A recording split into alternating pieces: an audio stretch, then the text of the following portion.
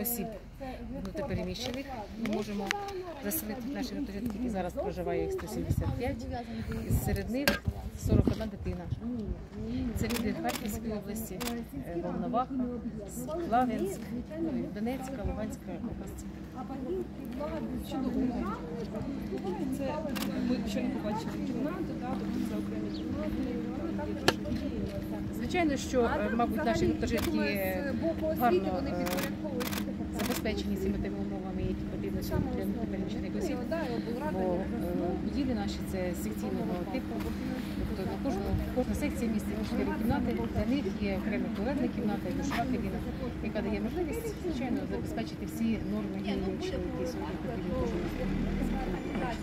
Щодо міжнародної допомоги, це у нас нашої організації «Міграції». Наскільки Ну, тут потрібно подякувати і нашим волонтерським службам, які допомагають, звичайно, в потребах забезпечення цим людям.